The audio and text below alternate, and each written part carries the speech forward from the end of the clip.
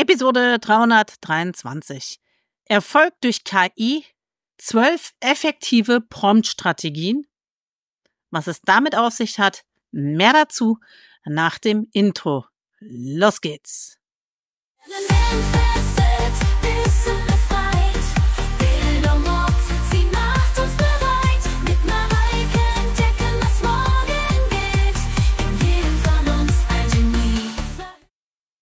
Schön, dass ich wieder in deinem Ohr sein darf oder auf deinem Screen, je nachdem, ob du das Ganze siehst oder hörst. Vielen herzlichen Dank dafür.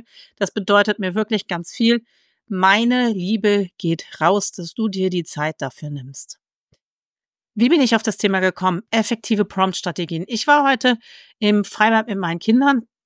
Wir haben hier Ferien und das Wetter war heute ganz gut und deswegen haben wir gesagt, okay, wir fahren schon sehr früh ins Freibad. Und dann habe ich immer wieder überlegt, ja, was könnte ich denn mal aufnehmen? Und da ist mir das eingefallen zum Thema Prompt-Strategien. Und ich möchte dir jetzt wirklich zwölf Prompt-Strategien mitgeben, die du einer generativen KI mitgeben kannst. Und ich werde dir erst ein Beispiel nennen und dann werde ich dir sagen, was es damit auf sich hat. Fangen wir mal an mit der eins. Das ist Chain of Swords. Das ist die Gedankenkette. Das Beispiel dafür? Erkläre die Schritte zur Lösung einer quadratischen Gleichung, beginne mit der Standardform und gehe Schritt für Schritt vor, bis du die Lösung gefunden hast. Und zwar möchten wir hier von der generativen KI, dass sie uns Schritt für Schritt mit auf den Weg nimmt wir das nachvollziehen können und die Antwort überprüfen können und damit dann auch wiederum helfen können, dass sie bessere Antworten liefert. Das hilft uns dabei, präzisere Antworten zu bekommen von der KI und den Lösungsweg zu verstehen, beziehungsweise gegebenenfalls auch zu korrigieren. Das war Chain of Swords, die Gedankenkette. Step back, der Schritt zurück. Beispiel. Gib mir eine Liste aller Start-up-Unternehmen aus dem Dachraum, wo die Gründer unter 30 Jahren sind. Und dann bittest du die KI und jetzt gib mir den jüngsten Gründer heraus. Das heißt also, du überlegst dir erst, was möchte ich eigentlich von der KI im zweiten Schritt wissen? Und du machst einen ganz anderen Schritt davor. Dadurch kriegst du oder kannst du gucken, welche Trainingsdaten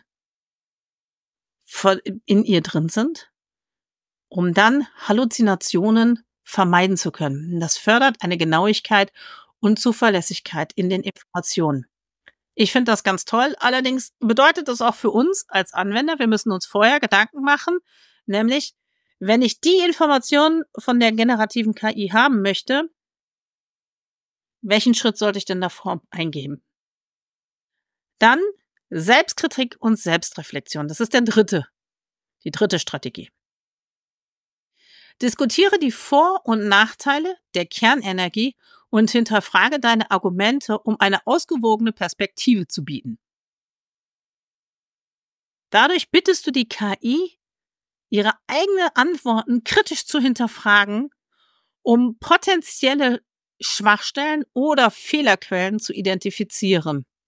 Und das ist besonders nützlich bei komplexen und kontroversen Themen.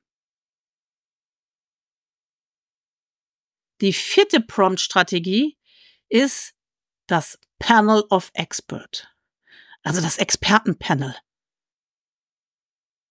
Analysiere die wirtschaftlichen Auswirkungen des Klimawandels aus der Sicht eines Umweltwissenschaftlers, eines Ökonom und eines Politikers. Das hat den Vorteil, ich kriege noch mehr Perspektiven bitte die KI in verschiedene Rollen zu schlüpfen, das kann sie sehr gut, und dann eine facettenreiche und umfassende Antwort zu geben. Und vor allem, ich kriege auch noch mal unterschiedliche Blickwinkel rein. Das heißt, mein eigener Blickwinkel, der ja auch mit Bias behaftet sein wird, wahrscheinlich, wird nochmal dadurch erweitert. Und ich hole mir hier nochmal die Experten an den Tisch. Das ist jetzt nur ein kleines Beispiel gewesen. Du kannst so viele Experten in dieses Panel holen, wie du möchtest. Die Grenze ist nach oben hin offen. Die fünfte Strategie ist die ausgewogene und tiefgründige Perspektive. Erkläre die Vor- und Nachteile von globalisierter Wirtschaft, indem du sowohl die positiven als auch die negativen Aspekte berücksichtigst und verschiedene Sichtweisen einbeziehst. Dadurch fördere ich die KI auf, die vorherrschende und einseitige Antwort zu vermeiden und stattdessen auf eine ausgewogene und tiefgründige Perspektive einzugehen. Die sechste Strategie ist die kontextuelle Verankerung. Beschreibe die gesellschaftlichen Auswirkungen der Digitalisierung in Europa, speziell in den letzten fünf Jahren. Damit gibst du den klaren Kontext vor, um sicherzustellen, dass du auch die generierten Antworten relevant und kohärent sind. Aber auch es hilft dir, die Erwartungen der KI besser zu verstehen und meine eigenen Erwartungen auch natürlich an die Antwort von der KI, um damit präzisere Informationen geliefert zu bekommen. Und bevor ich jetzt mit den nächsten sechs Strategien weitermache, schiebe ich nochmal einen ganz persönlichen Werbeblock ein. Und zwar startet am 3. September die AI Practitioner Ausbildung und es ist schon eine ganz tolle Truppe dabei. Also es sind wirklich ganz tolle Kollegen und Kolleginnen dabei und ich frage mich, warum du noch nicht dabei bist.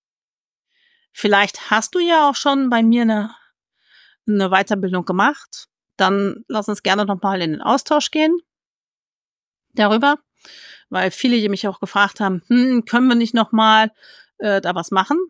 Also sprich mich gerne darauf an und nicht, dass du hinterher behauptest, ja, ich hab's aber nicht mitbekommen. Und wenn du noch nichts bei mir gemacht hast, dann frage ich mich, warum eigentlich nicht? Und äh, ob das vielleicht nicht zu dir passen würde, dieses Thema. Es sind sechs Wochen, die wir machen. Du kriegst sechs mal sechs Wochen Input. Du kriegst den Neurodidaktik-Kurs von Franz mit on top und ich liefere sogar noch die KI dahinter. Also wie du das Ganze mit KI auch besser machen kannst, die Neurodidaktik. Das gibt es so gar nicht. Das gibt es nur beim AI Practitioner und es gibt auch noch einen Bonus. Davon wissen diejenigen, die das jetzt gebucht haben, noch nichts. Also pst, nicht verraten. Das ist äh, eine Überraschung für diejenigen. Und zwar werde ich zu speziellen Programmen, die ich benutze, die ich auch habe, nochmal so kleine ja, Einblicke geben, wie, wie nochmal so, ja, ich würde es nicht sagen Tutorials, aber es sind so kleine Tutorials schon, die sind jetzt auch geplant.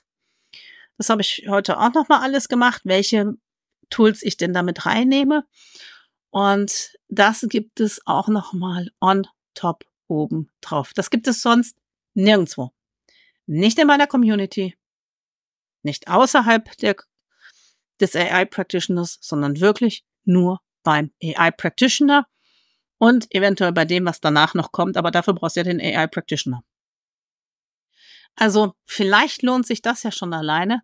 Es sind wirklich dreimal, äh, sechsmal drei Stunden rum, sechsmal drei Stunden, das heißt 18 Stunden. Meistens Dienstag bis auf die letzte Woche, da ist es halt der Montag, weil am Dienstag meine Tochter Geburtstag hat und die mich halt gebeten hat, bitte nicht an dem Tag was zu tun.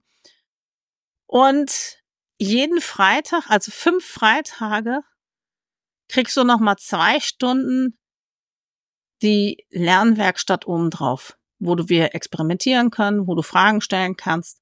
All diese Dinge. Und natürlich noch den Neurodidaktikkurs, jetzt auch mit KI und halt Einblicke in Tools, wo du dann gucken kannst, taugt das Tool eigentlich was für dich? Und ich habe auch manche Tools im Kopf, die, die habe ich mir, das gebe ich ehrlich zu, die habe ich mir letztes Jahr, Anfang letzten Jahres im Januar 2023 zugelegt und habe gesagt, ich zahle das monatlich. Mittlerweile habe ich das Tool seit dieser Zeit. Und ich kämpfe immer noch mit mir darum, eine Podcast-Episode über dieses Tool zu machen. Und jetzt habe ich gesagt, ich pack dieses Tool mit in meine AI Practitioner Ausbildung rein und stell's da ausführlicher vor, damit du dann weißt, ob das Tool was für dich bringt und du es dir dann angucken kannst, ob du das Geld einsetzen möchtest oder nicht. Genau darum geht's nämlich, dass du herausfindest, passt das oder passt das nicht. Jetzt gehen wir mal weiter zu den Prompt-Strategien und kommen zu der siebten Prompt-Strategie. Vergleiche und Analogien.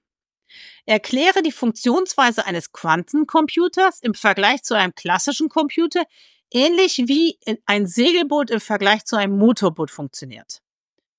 Und damit fordere ich die KI auf, Vergleiche und Analogien zu nutzen, um komplexe Kontexte zu erklären. Und das kann das Verständnis für diese komplexen Inhalte erleichtern und die Erklärung anschaulicher machen. Acht ist das szenenbasierte Denken. Beschreibe die möglichen wirtschaftlichen Szenarien nach der Einführung einer neuen Steuer auf digitale Dienstleistungen.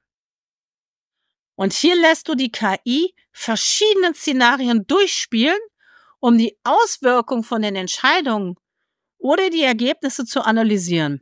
Das hilft, die möglichen Konsequenzen und Variationen besser verstehen zu können und natürlich auch gegebenenfalls vorauszudenken. Strategie 9. Iteratives Feedback und Verbesserung.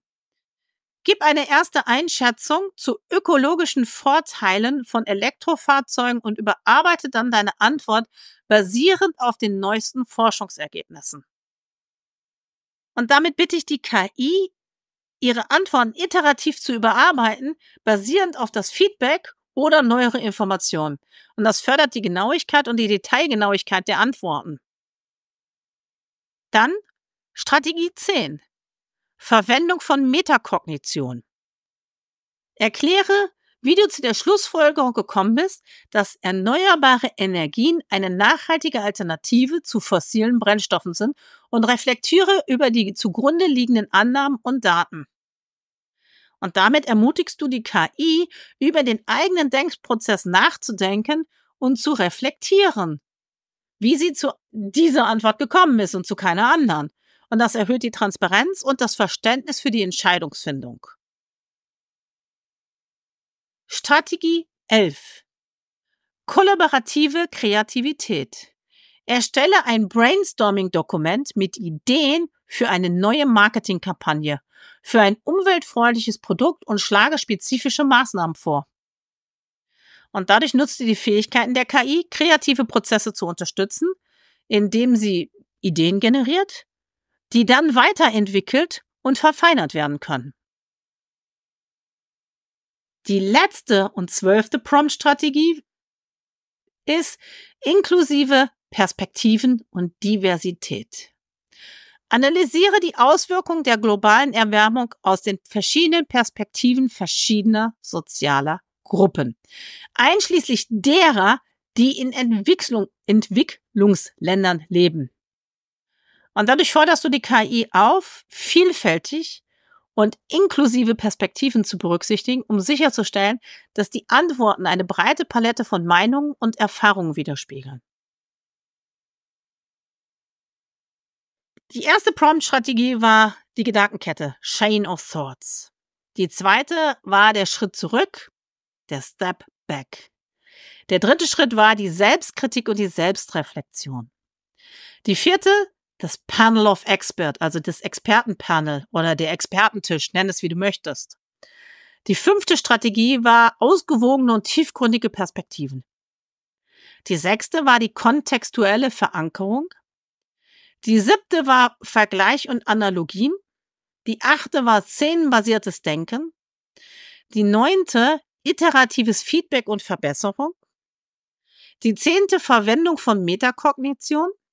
Die elfte kollaborative Kreativität und die zwölfte inklusive Perspektiven und Diversität. Und warum habe ich vorhin von generative KI gesprochen und habe nicht gesagt, ja, das kannst du mit ChatGPT ausprobieren? Weil du kannst es mit ChatGPT ausprobieren. Du kannst es aber auch genauso gut mit anderen Tools machen oder mit dem Copilot. Du kannst es auch genauso gut mit Perplexity machen oder bei Perplexity. Perplexity erfreut sich ja auch immer größerer Beliebtheit. Du kannst es aber auch genauso gut bei Claude nutzen. Und das war nämlich das, was ich dir wohl sagen wollte. Du kannst das, diese Prompt-Strategien, egal bei welcher generativen KI einsetzen. Und das war mir ganz wichtig. Es ist nicht speziell für ChatGPT, sondern du kannst sie auch auf alle anderen Modelle anwenden, wenn sie denn dann Internetzugriff haben. Das ist immer die Voraussetzung. Bei ChatGPT 4u hat das ja jeder auch im kostenlosen Account. Und bei Claude musst du halt dann schon mal manchmal gucken. Da braucht man vielleicht dann eine Bezahlvariante. Perplexity AI musst du halt auch schauen. Copilot musst du auch dazu kaufen. Also schau dir an, mit welcher KI du arbeitest. Und dann wird mich natürlich interessieren, was sind so deine ein, zwei, drei Lieblingsstrategien? Lass uns da wirklich mal drüber diskutieren. Egal ob in der KI-Community, wo der, wo der Podcast auch gepostet wird, oder auf Social Media und es ist egal auf welchem Social Media Kanal, schreib deine Prompt-Strategien mal rein. Vielleicht hast du auch eine ganz andere Prompt-Strategie als die, die ich jetzt genannt habe. Lass uns da wirklich mal in den Austausch gehen. Ich werde das Ganze auch natürlich in meinem AI Practitioner mit reingeben, aber jetzt war es mir erstmal wichtig, mit dir in den Dialog zu kommen über welche Prompt-Strategien hast du denn oder kennst du denn? Vielleicht hast du auch schon eine deiner Lieblings-Prompt-Strategien darauf. Und ich werde das nämlich jetzt hier nicht beantworten, was meine zwei, drei Lieblingsprompt-Strategien sind, sondern werde dort dann nämlich mit dir auf Social Media in den Austausch gehen. Oder auf YouTube, je nachdem, wo du das Ganze jetzt hier siehst oder hörst. Ich wünsche dir jetzt einen wunderschönen sonnigen Tag mit ganz viel Freude, ganz viel Spaß und freue mich auf dein Feedback. Bis demnächst in deinem Ohr oder auf deinem Screen. Deine Mareike. Das war Bildung rockt von und mit mir Sandra Mareike Lang. Wenn du mehr erfahren möchtest über die Methoden und Technologien der Zukunft, dann klicke auf www lerncoaching-podcast.de.